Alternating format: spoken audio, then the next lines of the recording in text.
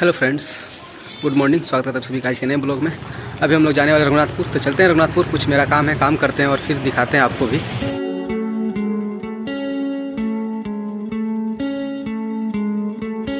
और वहाँ पे पसंद चप्पल नहीं आया तो फिर देखिए दूसरे दुकान पे आए हम लोग। अब यहाँ पे पसंद करते हैं। सर को जूता लेना है, हमको चप्पल लेना है तो यहाँ पसंद करते हैं, फिर चलते हैं, दिखाते हैं। तो चलिए फाइनली हम लोग रघुनाथपुर से घर आ चुके हैं और अभी चलते हैं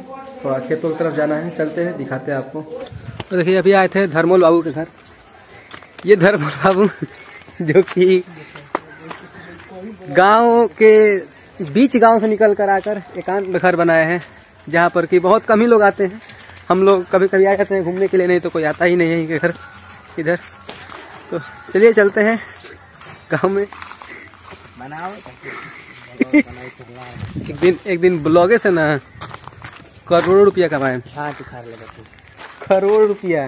अब पूछबो ना करम तारा के। कितने ब्लॉग ओइली है गोइले ये कमाए तो पूछे ना। तुझे अभी ये देखो।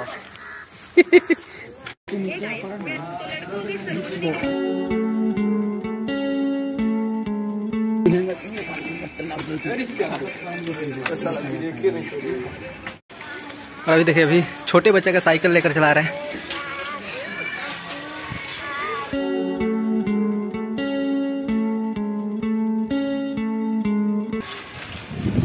तो छोटा बच्चा का साइकिल बड़ा लड़का चला रहा है। चलिए दिखाते हैं कौन चला रहा है। ये देखिए ये जोड़ी गाँव का सबसे पुराना जोड़ी है हमारे गाँव का। यही। ये लोग बहुत पुराने से ऐसे ही साथ में घूमते हैं। और आज देखिए बादल थोड़ा आया हुआ है और बारिश जैसा मौसम हुआ है।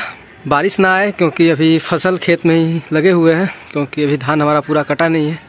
और देखिए, बारिश जैसा मौसम हुआ है। हम तो आशा करते हैं कि आज बारिश ना आए। आज और कल रुक जाए, कल मेरा धान सारा कट जाएगा। तो आज तो कटा नहीं, क्योंकि पता नहीं, आज कंपाइन गया नहीं था उधर तो इसलिए नहीं कट पाया। तो उनसे पूछे तो वो बोले कि कल जाएगा। तो चलिए, कल चलते हैं खेत में और अपना सारा धान कटाते हैं, फिर आपको दिखाएँगे। तो चलिए, आज के लिए बस इतना ही। वीडियो अच्छी लगे तो लाइक, शेयर सब्सक्राइब ज़रूर करें और अपने दोस्तों में शेयर ज़रूर करें। Bye bye.